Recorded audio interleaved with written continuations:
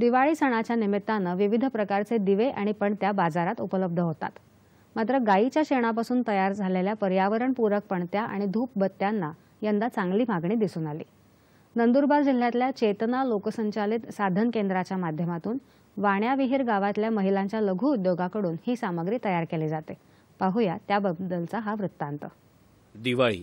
दिवाळी म्हणजे दिव्यांचा सण. बाजारात दिवाळी सणाच्या निमित्तानं विविध प्रकारचे दिवे आणि पणत्या उपलब्ध आहेत. पण बाजारात सध्या गायीच्या शेणापासून तयार केलेल्या पर्यावरणपूरक पणत्या आणि दिवे यांची नाविन्यता देखील आहे. नंदुरबार जिल्ह्यातल्या चेतना लोकसंचालित साधन केंद्राच्या माध्यमातून वाण्याविहीर गावातल्या आदिवासी महिला बचत गटांनी एकत्र येऊन पर्यावरणपूरक दिवे तयार केले आहेत. आम्हाला वाण्यावीर या ठिकाणी आदिवासी विकास विभागाअंतर्गत चाळीस चौ चाळीस पंचेचाळीस महिलांना प्रशिक्षण मिळालेलं आहे. पंचवीस दिवसाचं.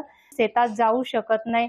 अशांना पण ते काम मिळालेलं आहे. महिलांना ते बनवून मग पॅकिंग करून मग सी एम आर सीच्या ठिकाणी घे- घेऊन येतात आणि त्याला चांगली मार्केट आहे. आणि महिलांना पण त्याच्यापासून चांगलं उत्पन्न मिळतोय.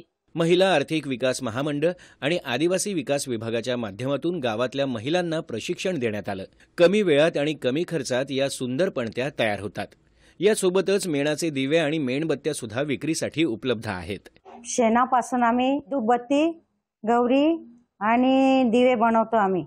आमच्या महिलांना रोजगार भेटला आहे. आमच्या महिला शहरामध्ये जाऊन स्टॉल पण लावतात आणि त्याच्यातून आम्हाला भरपूर फायदा भेटतो. त्या दुसऱ्या ठिकाणी आता मजुरीला जात नाही. गावातच काम करून गावामध्येच पैसे कमावतात. नंदुरबार जिल्हा आहे. या भागात स्थलांतरांचं प्रमाण मोठ्या प्रमाणावर आहे.